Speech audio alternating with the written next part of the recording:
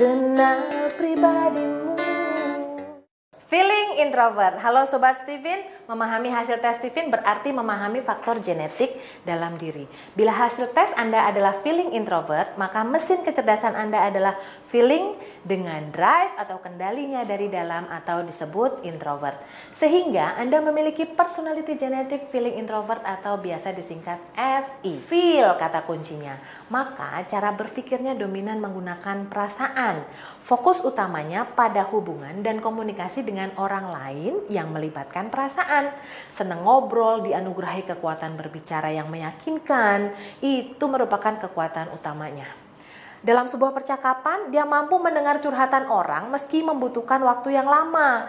Kehebatannya adalah mendengarkan dengan empati, yaitu mencoba menempatkan diri pada posisi lawan bicara sehingga dia merasa nyaman karena merasa dimengerti. Hal ini bisa memperkuat komunikasi sehingga lawan bicara cenderung percaya dan menerima masukan-masukannya. Mesin feelingnya dikendalikan dari dalam keluar, maka ada baterai besar yang memberi energi untuk menjadi percaya diri dan bertahan lama dalam berbicara maupun dalam berkomunikasi yang membawa perasaan. Terkadang terkesan berlebihan alias lebay ketika bicara. Memang cara pandangnya melihat sesuatu itu terkesan berlebihan, sebagaimana selalu menginginkan adanya perhatian dan rasa kasih sayang yang terus-menerus. Kalau ada masalah dengan hati, dia akan bernyanyi begini. Aku terjatuh dan tak bisa bangkit lagi. Aku tenggelam dalam lautan luka dalam. Aku tersesat dan tak tahu arah jalan pulang. Aku tanpamu butiran debu. Lebay banget kan? Masa kita butiran debu gitu kan? Sumber kekuatan utamanya adalah pada cinta atau kasih sayang yang bisa ditebarkan pada orang lain. Hal ini membuatnya dipercaya banyak orang untuk menjadi pemimpin karena dianggap memiliki harisma dalam memimpin. Meskipun tak banyak menggunakan logika dalam berbicara, namun kekuatan perasaan yang tulus akan lebih manjur dan berpengaruh dalam memperkuat jalinan hubungan. Ada panggilan dalam dirinya untuk memimpin. Ketika banyak orang yang menyukai, mengenalnya, lalu memberi kepercayaan untuk memimpin, itu seperti aktualisasi tertingginya. Dalam memimpin, dia akan membius orang dengan menggunakan permainan bahasa yang menyentuh perasaan sehingga orang bergerak sesuai dengan visi dan ideologi yang disampaikannya.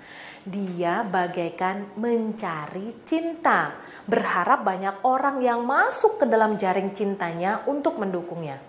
Meskipun dalam berbicara dan kebiasaan sehari-hari cenderung halus dan lembut, namun terkadang bisa menjadi menyengat ketika ada lawan bicara yang kurang menyenangkan dan tak sesuai dengan cara pandangnya.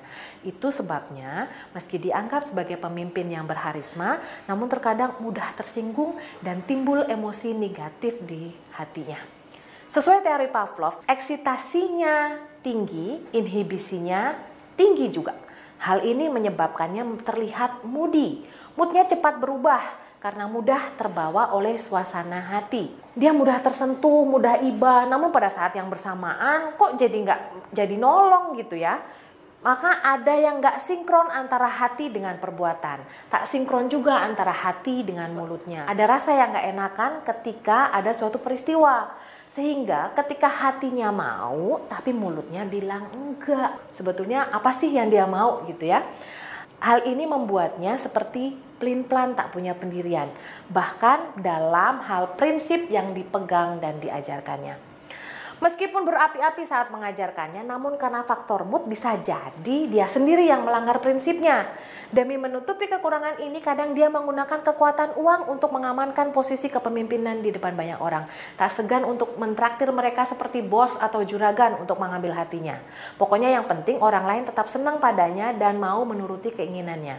Kata kuncinya adalah bagaimana dia menjaga moodnya. Kalau moodnya baik, berada di zona positif, maka dia akan semakin hebat dalam kemampuan leadership dan disukai oleh orang banyak. Untuk bisa meningkatkan leverage-nya, maka sangat penting baginya untuk menggembleng diri menjadi pemimpin yang karismatik. Memiliki platform yang diikat dengan ikatan emosional, akan memperkuat pengaruhnya dan semakin mempertinggi nilai tawarnya. Itu dia feeling introvert yang banyak cinta dan berharisma. Steven, gue banget.